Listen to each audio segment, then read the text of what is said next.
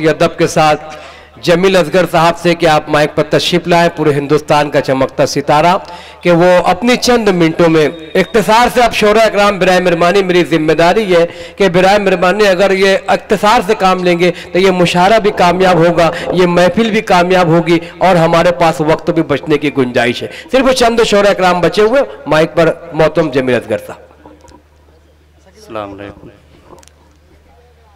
Advocate Shahid Azmi साहब को अखराज अकीदत पेश करते हैं और दुआ करते हैं अल्लाह ताला उनके कब्र को नूर से मामूर कर दे मैं सीधे सीधे शेर पढ़ता हूँ कि बचाने के लिए इस देश को फिरका परस्तों से, बचाने के लिए इस देश को फिरका परस्तों से तिरंगा हाथ में लेकर मुजाहिद बन निकलेंगे।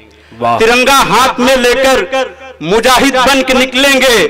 अगर इस मुल्क की बिगड़ी हुई तस्वीर ना बदली वतन के नौजवान शाहिद बन के निकलेंगे। वतन के नौजवान सड़कों वाह, पे शाहिद बन के निकलेंगे। वतन के नौजवान सड़कों पे शाहिद बन के निकलेंगे। बहुत अच्छा मैं वाह वाह। शमीम खान साहब का शुक्रगुजार हूँ। अलीम खान बाटला साहब का रऊफ चौधरी साहब का हुसैन दलवाई साहब, मेंबर ऑफ़ पार्लियामेंट, मुन्ना भाई, सबका शुक्रिया अदा करता हूँ, एक शेर और पढ़ता हूँ कि हमारे वास्ते इंसाफ वाला भेज दे मौला। हमारे वास्ते इंसाफ वाला भेज दे मौला, अंधेरों में घिरे हैं हम। उजाला भेज दे मौला, जमी को फिर ज़रूरत है किसी ईमान वाले की। उमर फारूक सा कोई जियाला भेज दे मौला। बहुत अच्छे, वाह। उमर फारूक सा कोई जियाला भेज दे मौला।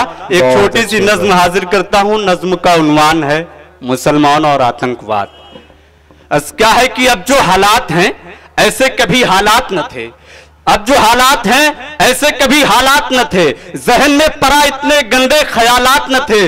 दूध की नहरें बहा करती थी चारों जानिब। शम्मे उल्फत की बहा करती थी चारों चारों जानिब। पहले हर सिमत वतन में थी मसरत की बहार। पहले सब खुश थे हर एक दिल को मसरत था कर, हर एक दिल को मयसर था करार। धीरे धीरे वो बहारों का समा जाता रहा। राहतें जिसमें थी वो दौर कहा जाता रहा? अपनी कोताही वो गफलत का नतीजा ये है। अपनी हद दर्जा शराफत का नतीजा ये है। आंधियाँ जुल्म की चलने लगी शहरों शहरों नदियाँ खून की उबलने लगी शहरों शहरों। मुल्क में हर तरफ़ फैल गए आतंकवादी देखते देखते इंसान हुई बर्बादी। मुंबई हो कि वो कश्मीर, अयोध्या, जयपुर, देश भर के लिए आतंकवाद हुआ है नासूर। अपने असलाफ की अजमत न मसल डाले कहीं। देश भर के लिए आतंकवाद हुआ है नासूर। मुल्क की एकता जालिम न कुचल डाले कहीं। अपने असलाफ की अजमत न मसल डाले कहीं।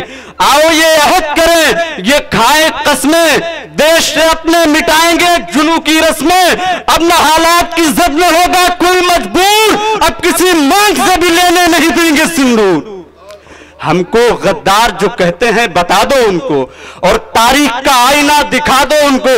जब भी देश पर कोई वक्त आया तो जा हमने दी। जब भी दंगा हुआ तहरीके अमा हमने दी। आज भी अपने सीने में है हमीदी जज्बा। आज भी देश की शान हमी से है ज़िंदा। हम मुसलमान ईमान के रखवाले हैं। सर से बांधे हैं कफन देश के मतवाले हैं। हमको आता ही नहीं भारत से बगावत करना, अपना ईमान वतन से है मोहब्बत करना। जो मुसलमान है वो खुखार नहीं हो सकता, मुल्क और कौम का गद्दार नहीं हो सकता। बहुत बहुत शुक्रिया।